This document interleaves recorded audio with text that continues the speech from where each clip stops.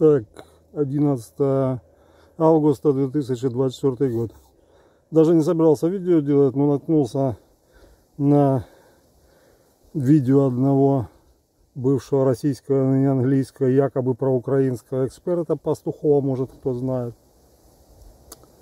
И наслушался по поводу того, что вот какую ошибку сделали украинцы.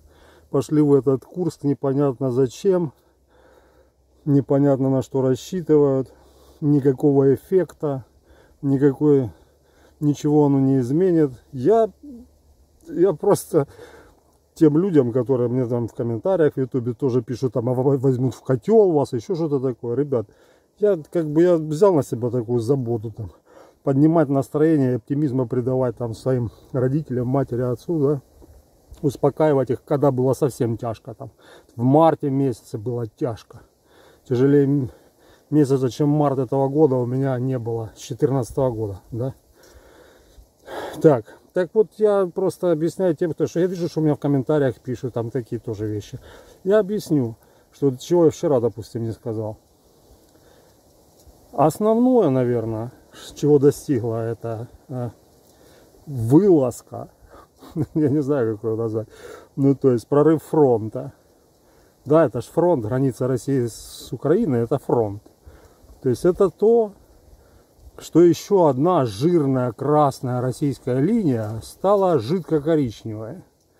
Вы понимаете, что украинцы на западной технике, применяя западное вооружение, перешли границу с Российской Федерацией, с олдскульной российской не то, что они себе приписали вот тут Запорожье, что это якобы их там, я не знаю, Харьков мы еще не знаю, приписали, не приписали.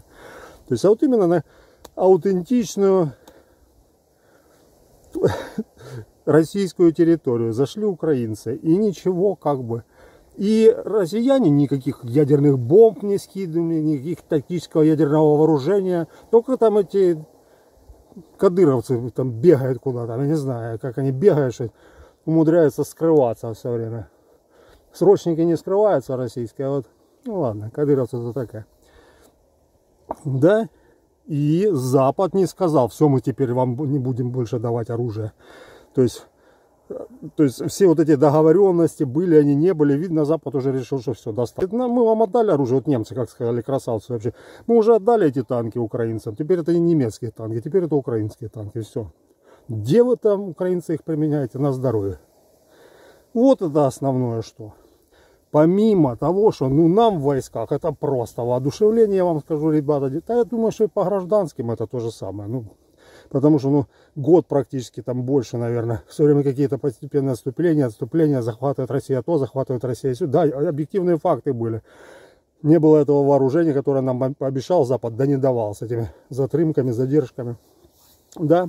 И что еще? То есть это два таких основных, это поднятие боевого духа, ну, в первую очередь все-таки нет. Все-таки в первую очередь я поставлю это исчезновение этих красных линий.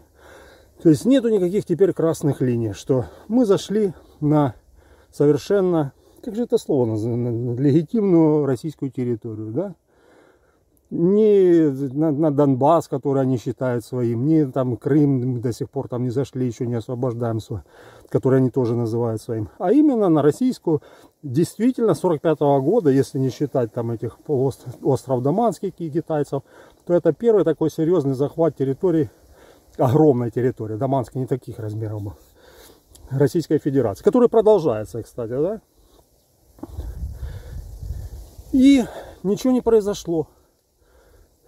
Путин это называет ситуацией, Путин называет провокацией, Путин это не применяет ни ядерную бомбу, он, он применяет свои самолеты, свои бомбы по своему, по своему же этому Суджуку, чи как он там, Суджа, Суджа, Суджа. Это, кстати, столица Украины была. Блин, мы не в курсе, да, ну такое псевдо Украины, конечно, там большевики, которые образовали. Так что коренные украинские территории. В 17-18 году, по-моему, Суджа была столицей Украины. Ну, той, которую создал большевики. И Запад не стал забирать оружие. И третье, наверное, что важно, ну и подъем духа у солдат, у офицеров украинских. Видим, на что, что, что немца можно бить. Я извиняюсь, конечно, перед немцами. Немцы, вы сейчас молодцы. Я все еще теми шаблонами своими старопертовскими, советско-союзовскими разговариваем. Мы увидели, что врага можно бить, понятно?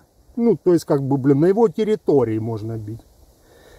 Не только мы, гражданские. Сейчас вот я, я деньги никогда не собирал на армию, там ничего такого. Я не зарабатываю ни на тиктоках, ни на ютубах, я ничего этого не делаю.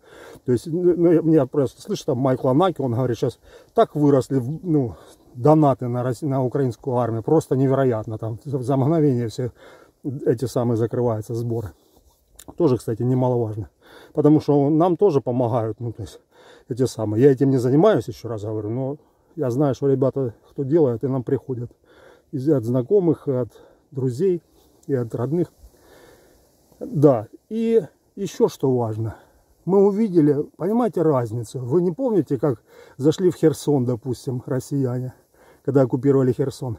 И выходили люди против танков, против российских вонючих этих БТРов, блин, и пытались их голыми руками останавливать. Не помните? Не помните, как эта жительница выбегала, говорила себе, семечек в карман насыпь, когда сдохнешь, а хоть пророс тут подсолнухами. Помните эти видео? Я помню прекрасно их. Тоже они так дух поднимают. Как встречать, я не знаю где угодно, блин, в Киеве, как начали там коктейли Молотова делать, там все, люди начинают собираться, как в Харькове у нас там оружие раздавали, понимаете, гражданским. Просто, а кто готов воевать, воюйте.